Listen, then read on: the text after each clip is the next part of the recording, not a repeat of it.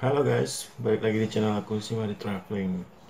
Oke, pagi ini um, aku lagi baca-baca artikel di media sosial dan masalah tentang PPKM ya, terutama ya. Jadi teman-teman buat yang masih ingin yang masih ingin atau harus memang tetap harus melakukan perjalanan di masa-masa pandemi atau masa PPKM ini yang diperpanjang itu aku baca di artikel itu syarat salah satu syarat utama ya utamanya adalah kita harus uh, sudah divaksin. Jadinya kita bisa mendapatkan kartu vaksin. Nah uh, jadi pada saat kita melakukan perjalanan itu nanti petugas akan mengecek uh, apakah kita sudah divaksin atau belum. Dengan cara kita harus menunjukkan kartu vaksin yang telah kita peroleh. Pada saat ketika kita uh, mendapatkan vaksin. Jadi buat teman-teman yang belum divaksin itu kartu vaksin itu bisa didapatkan setelah Anda mendapatkan vaksin ya. Jadi vaksin itu ada dua kali. Vaksin pertama teman-teman akan mendapatkan sertifikatnya untuk vaksin pertama yang ada keterangannya seperti itu dan vaksin kedua kita pun akan mendapatkan uh, uh, kartu sertifikat vaksin. Nah, bagaimana cara mendapatkannya? Sebenarnya pada saat setelah vaksin setelah kita divaksin itu kita akan langsung dikirimin uh, sebuah SMS di mana SMS itu akan terdapat link di mana kartu vaksin kita itu sudah tertera di sana dan kita bisa mendownloadnya lewat HP kita atau men-screenshot. Dan itu kita akan simpan di, di dalam HP kita. Kita bisa men, uh, namanya memprint out atau karena sekarang kan sudah ada itu uh, jasa-jasa pembuat kartu vaksin itu.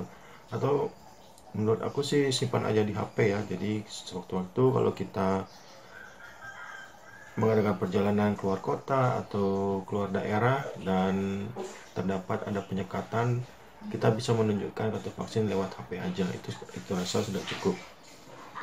Namun uh, untuk kasus lainnya bahwa ada kadangkala kita pada saat setelah vaksin itu kita tidak dikirimkan vaksin. Eh maksudnya kita di, tidak dikirimkan SMS me, mengenai kartu vaksin itu. Nah bagaimana cara mendapatkan kartu vaksin e, bila kita tidak mendapatkan SMS itu ya? Sebenarnya gampang banget kita tinggal mendownload yang namanya e, aplikasi peduli lindung guys ya. Atau kita juga bisa langsung browsing lewat HP uh, mengenai website Peduli Lindung di sana kita akan bisa melihat kartu vaksin kita. Begini teman-teman caranya ya, kita lihat aja ya. Kita langsung praktek ya gimana caranya.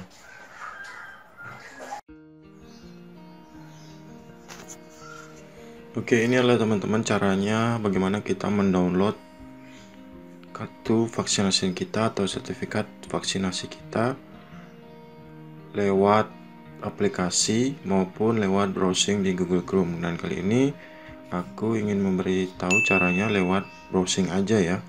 Karena aku nggak mau download aplikasinya tapi teman-teman bisa eh, melakukan download aplikasi jika teman-teman mau karena aplikasinya sangat bagus sekali. Di sana akan menerangkan banyak hal tentang seputar informasi mengenai COVID-19 selain juga kita bisa melihat kartu sertifikat vaksinasi kita Oke, kita buka aja browsing.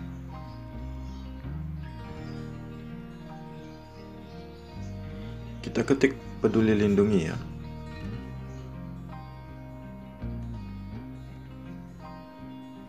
Ini saya sudah melakukan browsing sebelumnya, jadi sudah ada yang namanya tracking dari Google. Oke, di sini kita akan melihat uh, kita bisa masukkan nama lengkap, nick, atau pada tampilan atas sudah ada tulisan jika sudah melakukan vaksinasi COVID-19, cek sertifikat Anda di sini. Jadi kita klik di sini aja. Sini kita masukkan nama lengkap kita dulu.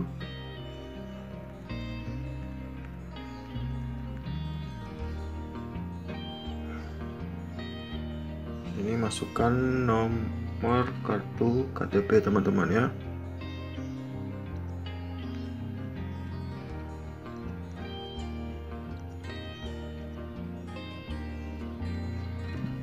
Kemudian masukkan tanggal lahir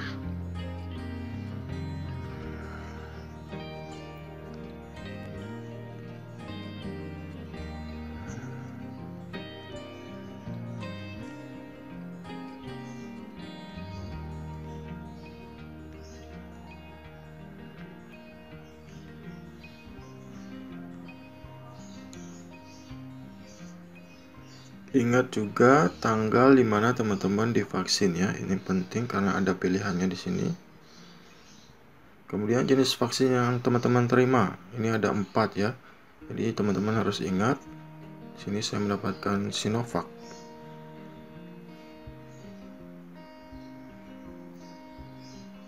Oke, kita periksa langsung. Untuk aplikasi ini terkadang memang tidak berfungsi tapi oh ya ini ini ya. Ter, ternyata hari ini berfungsi ya karena saya sudah mencoba beberapa kali ternyata susah banget untuk mengakses sertifikat vaksinasi ini. Lewat peduli lindungi tapi ternyata mereka hari ini uh, saya bisa melihat sertifikatnya guys. Mungkin dalam masa upgrading atau benar-benar untuk uh, pemeliharaan ya jadi semakin bagus website ini. Jadi inilah teman-teman sertifikat vaksin. Teman-teman semua jika teman-teman ingin mendownloadnya langsung ya. Jadi perlu diingat bahwa ini lewat peduli lindungi.